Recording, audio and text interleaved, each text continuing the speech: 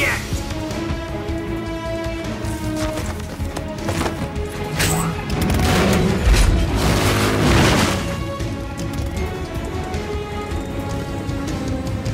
Eva, you take care of the driving. Yeah? Yeah, I trust you.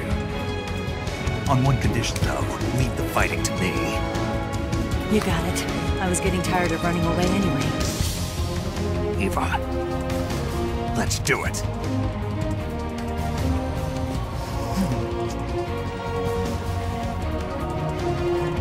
For luck.